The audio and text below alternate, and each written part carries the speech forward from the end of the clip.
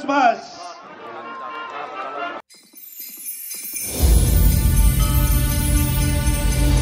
Guys, dito ako sa ¿ah? Manila City Hall. May giant Christmas tree sa likod ko. Tapos doon, the tallest clock tower in the Philippines. That's Manila City Hall Clock Tower. Oh, in just about 40 or 50 minutes, they're gonna have the ceremony for the giant Christmas tree lightning.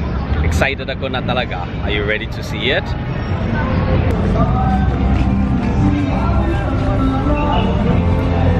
Mga kababayan, punta kayo dito pag masaya sa Pasko, di ba?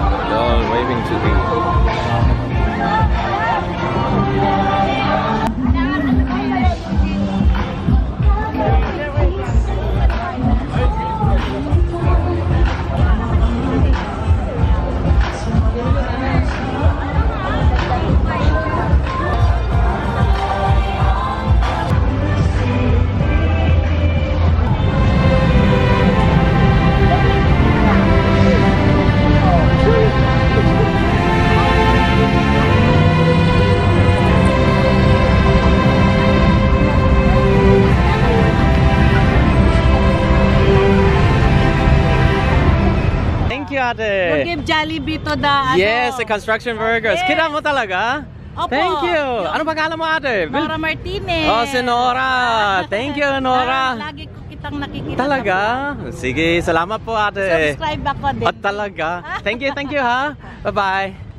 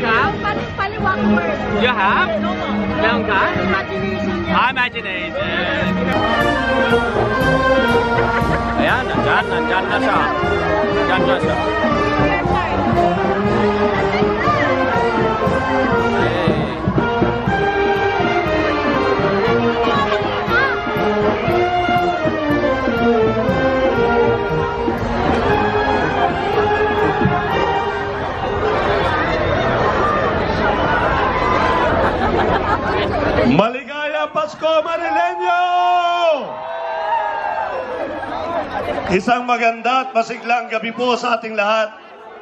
Tayo po ay natitipon at sama-sama nating tumayan ang sabayang pamaskong pagpapailaw ng Christmas tree at mga parol sa kabaan ng Ross Boulevard hanggang dito sa paligid ng Manila City Hall. Ang proyektong ito ay bahagi ng mga inaandog ng pamahalang lungsod ng Maynila sa pamumuno ng ating buting punong lungsod, Francisco Isko Moreno Dumagoso. At sa pamamagitan at pinangungunan ng kawanihan ng turismo at kapaganang pangkultura ng lungsod ng Maynila. Mga kapatid, sa pagsisimula po natin ang ating programa, inaanyayahan po natin ang lahat na tumayo para sa isang panalangin.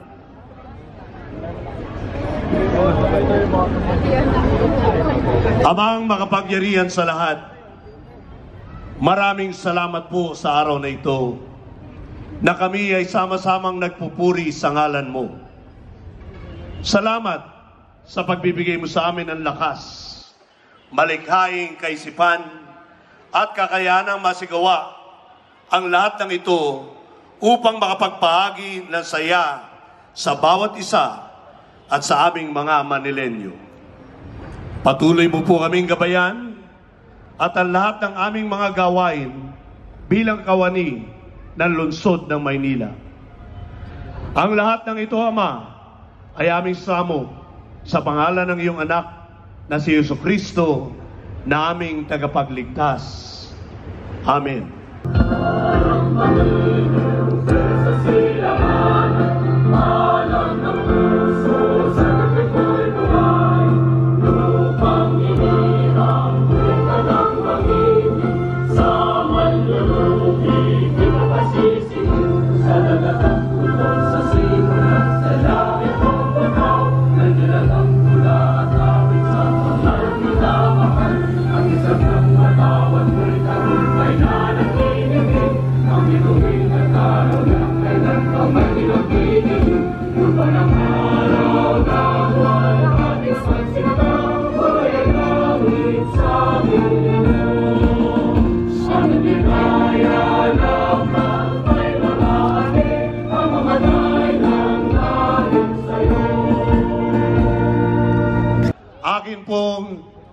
ibinibigay sa inyo ang pangalawang punong lungsod ng Maynila, ang kagalang-galang at kaakit-akit, Doktora Maria Sheila Hani Lacuna Pangan.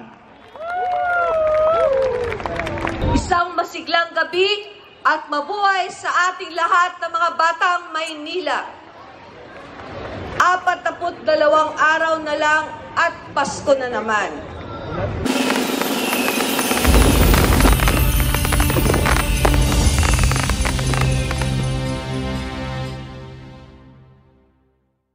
Lahat ng mga korporasyon, pribadong sektor, lahat na nandito ngayong gabi na ito at sa lahat ng nanonood sa buong mundo na mga kababayan nating OFW at immigrants. Magandang gabi. Good evening po sa inyong lahat. Maikli lamang po ito. Gusto ko lang ipaalala sa inyo na taon-taon sa ating bansa Kilala ang Pilipinas sa pinakamahabang Pasko. Sabi nga ng mga Amerikano, I don't know with Philippines, uh, they have the longest Christmas ever. Because pag sumapit na ang ber, ramdam na ang simoy ng malamig na hanging Pasko. Ramdam na rin ang mga ngiti, ngiti na kung saan na nagbibigay ng pag-asa na muli nating alalahanin ang kapanganakan ni Panginoong Heso Kristo. Yan ay isang kultura, tradisyon na baha na part or bahagi na kailangang ipatupad, ipalaganap. Tradisyon at kultura or kostumbre nakakaiba sa buong mundo. Pero hindi lang ho yan patungkol sa kostumbre o kultura. Nandito rin, maipapalaganap natin, mapaparamdam natin ang diwa ng Pasko. Muling maipapaalala sa lahat na ang diwa ng Pasko ay pagmamahalan. Pagmamahalan sa isa't isa. Sa jowa, sa syota. Sana all! Wala?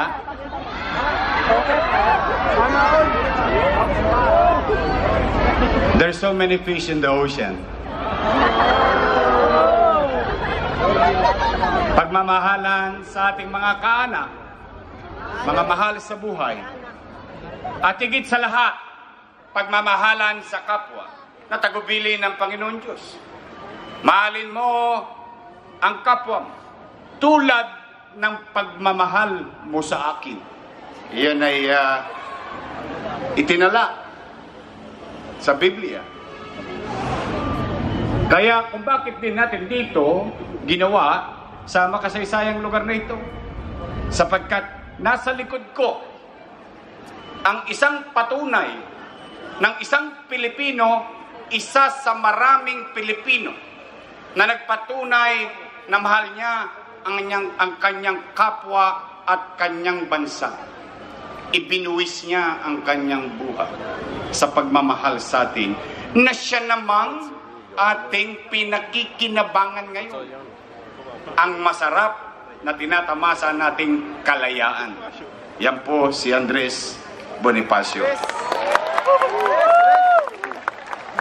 Yan, mga ribulto, mga bato, mga bakal, stainless, o ano pa man, uri ng material na bagay, ay mga material lang na bagay kung iyong titingnan sa una. Pero, importante sa kabataan na maunawaan ninyo, hindi yan itinalaga dyan para isang dekorasyon lamang. Yan ay itinalaga ng Estado sa pagpapaalala sa atin ng kabutihan ng ating mga ninuno, ng ating mga bayani. Ipinapaalala ng Estado na kung saan kapag ikay naging mabuti sa iyong kapwa, nasa kabilang dako ka man ng mundo, at wala ka na sa sanlibutan, you will be immortalized. You will be remembered so that others will do the same. Kaya ang pagmamahal sa kapwa ay sana laging umiral sa atin, hindi lamang dahil magpapasko. Dahil sa pagmamahal sa kapwa, unti-unti nagkakaroon tayo ng malasakit. Pag may malasakit, may pagsasaayos. Pag may pagsasaayos, magiging maliwalas. Pag naging maliwalas, nagiging maganda ang pagtingin ng tao sa kanyang pamayanan. At lalong gumaganda ang pagiging pananaw o magiging pananaw ng tao sa kanyang sarili at sa kanyang kapaligiran. Yan po sana ang mangyari sa darating na 2020 ng buhay natin sa darating na taon. Na unti-unti na tayo mga tagalungsod na magsaayos, makiisa, magkusa. Magkusa na kung saan na ang layunin ay makisama sa magandang direksyon na nais na puntahan ng pamalang lungsod para sa kanyang mamamayan. Kaya po, ang pagmamahal, hindi lang sa syota, hindi lang sa jowa. Ang pagmamahal na hinihingi namin sa inyo, na hiningi rin ng Diyos, ay pagmamahal sa kapwa. Yan ang diwa ng Pasko. Ayos namin inyo. So muli, ngayon, sa mga manonood, sa mga nandito, nakita nyo na kung gaano kadilim ang Maynila. Ngayon, patay ang mga ilaw sa buong lungsod. Ganyan ang inabutan nating lungsod ng Maynila. Lalo na ito. O sino ngayon ang maglalakad dito? Kung ganito ang itsura nito. Dahil sa kabutihang loob ng mga kasama naming kawani sa pamalang lungsod. Sa pagsisikap nila, naging maaliwalas ng unti-unti ang lungsod. Nagsimula na tayo ng tama. Sumama na kayo. Tapusin natin ng tama. Kaya muli, ipinagpapasalamat ko sa aking mga kasamaang kawani ng pamalang lungsod ang pakikiisa ninyo. Sana nga magbuti pa tayo at patuloy natin mahalin ang ating tungkuling inatang sa atin sa mga halal ng bayan, mga konsihal, sa ating vice mayor, congressmen, barangay chairman, kagawad, lahat ng halal ng bayan ng ating lungsod ng Maynila, sana po magkaisa na tayo. So muli, advance Merry Christmas. At sana may advance na rin ang bonus.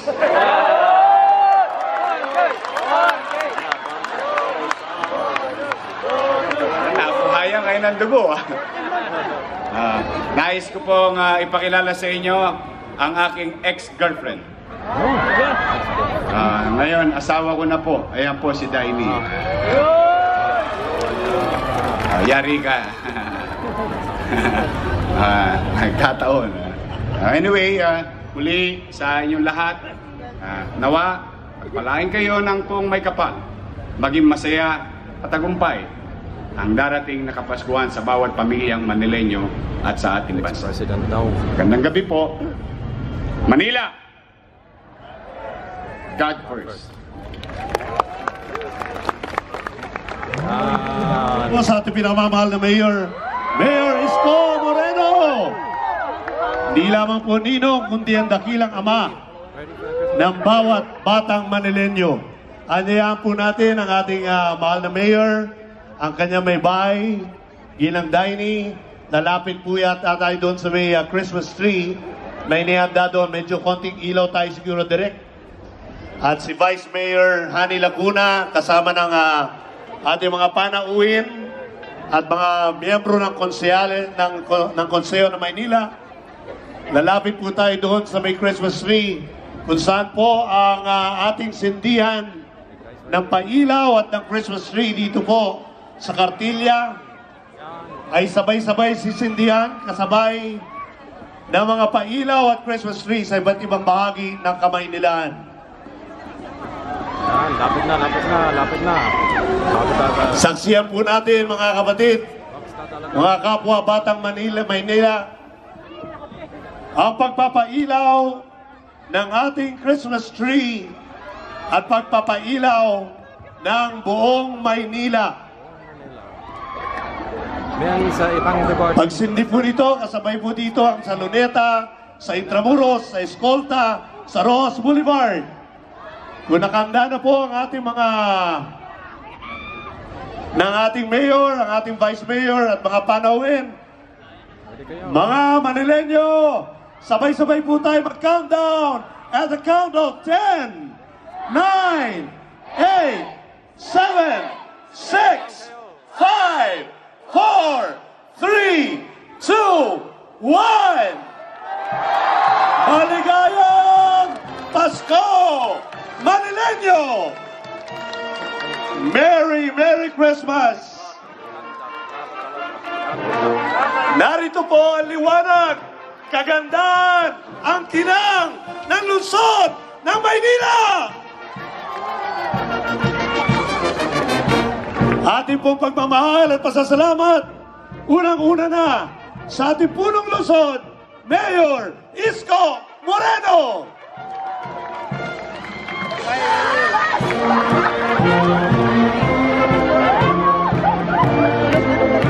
Ang sabayang pagpapailaw na ito ay kabahagi natin ang National Parks Development Committee sa Rizal Park at doon din sa Paco Park. Sinindihan na rin po ang pagpapaliwanag paliwanag doon po sa Intramuros Administration sa Fort Santiago. Gayon din po sa National Museum, ang Fine Arts, Natural History at Anthropology Buildings. Sinindihan na rin po ang Manila Main Post Office Building ng Philippine Postal Corporation. Diyan naman po sa Escolta ang First United Building, Regina Building at Calvo Building sa Luneta Rizal Park Hotel. At sinindihan na po ng City General Services Office ang Christmas decorations sa loob at sa paligid ng Manila City Hall. Maraming salamat sa Electrical Office sa pamumuno ni Engineer Randy Zadak. Pinapailaw na po ang mga copies, ang mga parol sa paligid ng Maynila, sa Mayan Garden, at sinindihan na rin po ang ating mga fountains. Ito po ang pagdiriwang ng tunay na Paskong Manilenyo. Batiin niyo po yung mga sa tabi niyo, Merry Christmas! Greet each other, Merry Christmas! At sa ating magsasalo ngayong gabi, meron po rin dyan na may puto bumbong, may bibita, may kubit. Kuha lang kayo. At bayaran nyo na rin. Hindi, libre, libre. And while supply lasts. At samantala mga kaibigan, habang tayo po ay magpapatuloy sa ating pagdiriwang, yung iba po na maaaring maupo, pwede na po tayo magsiupo. At ating pong ah, matamasa ang kagandahan ng musika ng ating mga panawin.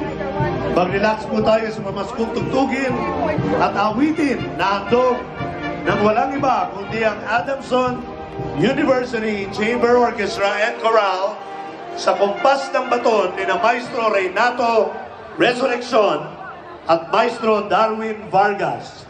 Mga kaibigan, mga kababayan, ang Adamson University Chamber Orchestra and Chorale.